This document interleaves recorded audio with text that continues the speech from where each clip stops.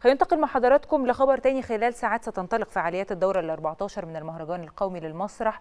آه طبعا هتستمر هي هتبدأ يوم 27 سبتمبر وهتستمر لغاية 9 أكتوبر المقبل. هتحمل الدورة الجديدة عنوان الكاتب المسرحي المصري.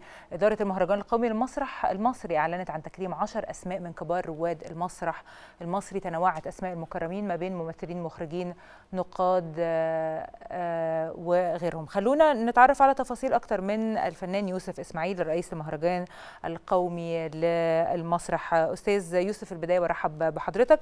لو تكلمنا عن الاستعدادات يمكن النهائية للمهرجان. أهلا وسهلا بحضرتك واهلا وسهلا بكل السادة المشاهدين. أهلا بحضرتك. دي الدورة ال 14 المهرجان القومي للمسرح المصري. وهذا المهرجان هو مهرجان قومي بتنشئه وزارة الثقافة المصرية. م.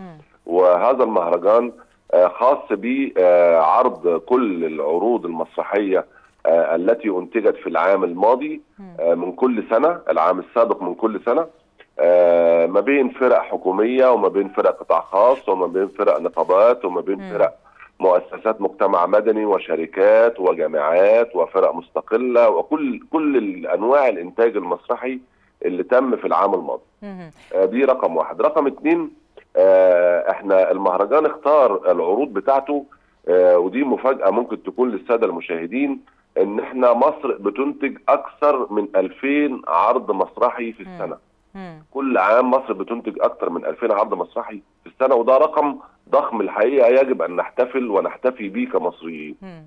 آه وإحنا لجنة المشاهدة ولجنة اختيار العروض التي تتقدم للمسابقة استقرت على اللائحة الخاصة بالمهرجان وهي 33 عرض مسرحي يدخلوا المسابقة الرسمية وتم اختيار أحسن أو أفضل 33 عرض مسرحي علشان يتسابقوا لنيل جوائز أحسن الجوائز من المهرجان القومي للمسرح المصري. يعني إن شاء الله أستاذ يوسف الاحتفال يقام على قدر تاريخ المسرح المصري ويمكن على قدر كمية العروض اللي حضرتك بتتكلم فيها. على كل حال أستاذ أو الفنان يوسف إسماعيل رئيس المهرجان القومي للمسرح أنا بشكر حضرتك جزيل الشكر.